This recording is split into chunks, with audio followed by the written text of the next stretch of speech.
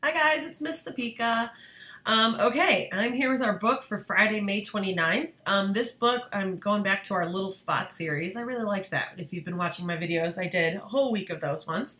Um, this one's called The Little Spot Stays Home. It's a new book that talks about why it is that we are all staying at home, even though hopefully we won't have to do it for too much longer. Um, I actually also chose to read this book today because if you watched my question of the day video already, you may know that Sunday is my birthday, um, which is exciting, but also kind of sad for all of you guys who have had your birthdays while we've been staying at home. You know that it's not kind of this, kind of not the same, right? Um, so just to kind of remind myself why it's important for us to stay home and um, keep healthy and all that kind of stuff, I thought this would be a good book for today. So here we go with A Little Spot Stays Home. A Little Spot Stays Home, a story about viruses and safe distancing. Sounds familiar, huh?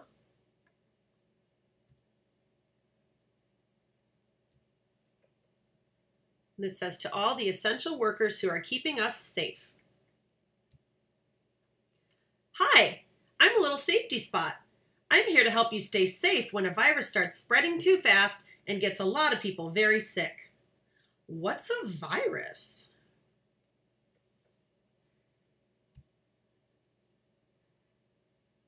Viruses are tiny particles that can make you ill. They are so small that you can only see them with a microscope. These particles are also known as germs. These germs love to stick to your hands, doorknobs, cardboard boxes, and toys. This is why we disinfect surfaces like countertops and objects.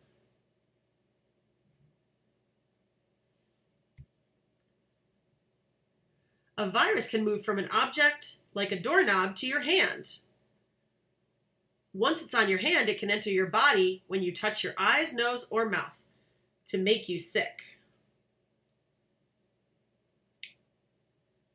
That's why it's so important to wash your hands to clean off germs before you eat, after you go to the bathroom, and after you're done playing. And it also says use soap. Wash your hands really well for at least 20 seconds.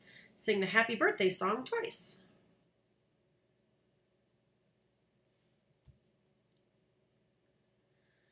When a virus enters your body, you can start to have symptoms. Symptoms don't make you feel very good. They can be a fever, a cough, and a sore throat. People can spread a virus more when they have symptoms because germs come out of their nose and mouth when they cough or sneeze.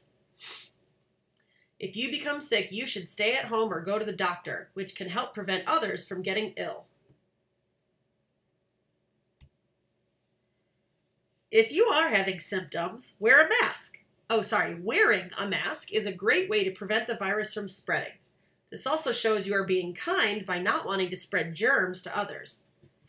If you are healthy, wearing a mask can protect you if you are around someone who is coughing and sneezing. When someone is sick and sneezes, germs can spread from their nose or mouth up to six feet. So, for everyone, a safe distance is six feet, the length of your bed. If you don't have a tissue, you should always cough and sneeze into your upper sleeve or inner elbow. Some viruses can be very contagious and cause an outbreak. When this happens, older adults like grandmas and grandpas, as well as people with low or compromised immune systems, can get sick very easily, and it can be very harmful. We need to be responsible and help, help protect them. We can do this by hand washing and limiting contact with others by keeping a safe distance.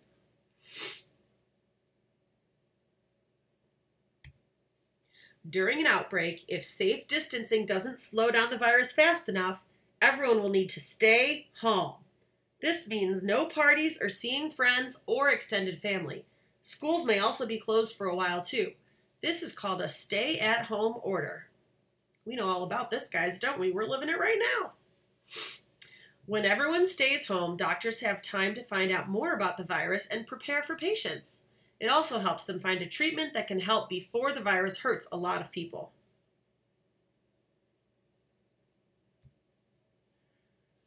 When we need to stay at home, can we leave our house at all? Great question. You can go for a walk with your immediate family as long as you are at a safe distance from others. People can also leave their homes if it is absolutely necessary, like to get food, go to the doctor, or if their job is considered essential. What are essential workers? Essential workers need to be at work to help keep us safe. They help treat sick people and deliver and stock important items. These people are doctors, nurses, police officers, grocery store workers, and delivery workers, just to name a few. We should be very thankful for these people who have the courage to go to work every day.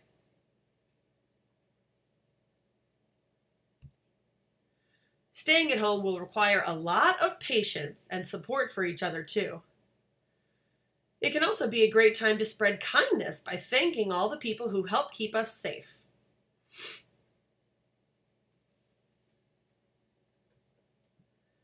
There may be times you will feel sad that you can't see friends and family, but there are other ways to connect with them. You can video chat or call them on the telephone. Or you can write a letter and send it through the mail. You can even decorate the envelope or include some artwork too. This time can be difficult for a lot of us, and getting a letter in the mail can brighten someone's day.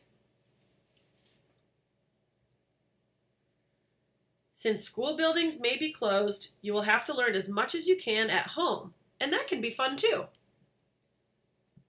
You can learn math by measuring ingredients while baking, or by sorting clothes, counting shirts, and matching socks too.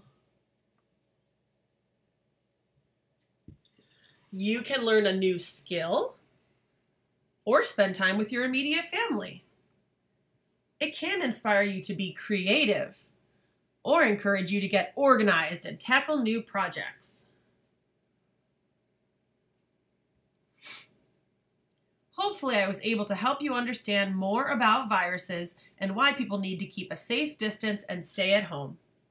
It's important to keep a positive outlook and remember that viruses don't last forever.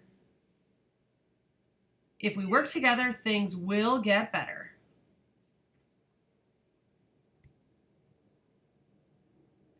The end. All right, so that was a little spot stays home. I hope you guys liked it um, something to think about or talk about. What is your favorite part about staying at home? So I'm sure there's a lot of things that we don't like about staying at home, but there are some great things about staying at home too. So that's something for you to think about and talk about with your family. Um, have a wonderful, wonderful weekend. I will try and do the same, celebrating my birthday, getting another year older. And I will see you guys on Monday, which will also be June. Can't believe it. Can't believe we've made it to June. All right. Have a great day. Have a great weekend. See you later. Bye.